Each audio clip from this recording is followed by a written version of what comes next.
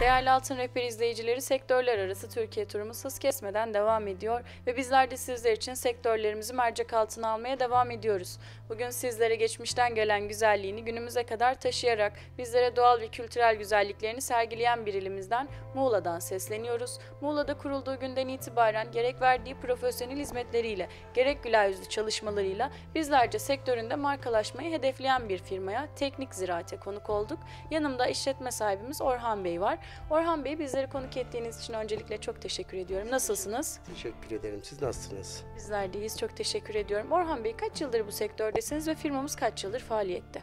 Ee, 39 yıldır bu sektördeyim. 25 yıl devlet kapısında çalıştım. 14 senede zirai ilaç bayiliği ve çiftçilerimize elimizden gelen e, destekler sağlayarak hizmet vermeye devam ediyoruz. Peki burada müşterilerinize ne gibi hizmetler sunuyorsunuz? Hizmetlerinizi de sizlerden dinleyelim. Çiftçi eğitimi yönünde teknik bilgiler, zirai e, konularda teknik bilgi verimi, teknik bilgilerin nasıl e, sahaya yansıtılacağını, ilaç kullanılanlarını, halk sağlığıyla ilaçların halk sağlığına etkilerini, e, ürünlerin nasıl yetiştirildiğini, ne aşamalardan geçtiğini bunları böyle e, 50-60 yaş arasındaki çiftçilerimize izah etmeye çalışıyoruz. Tüm zirai ilaçlar sizlerde bulunur mu?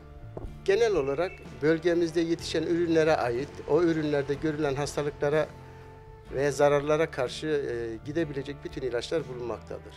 İlaçların satışını yaparken bu konuda bilgisi olmayan, yeni başlayan çiftçilerimize ilaçların kullanımıyla hakkında da bilgi veriyorsunuzdur değil mi? Tabii ki veriyoruz.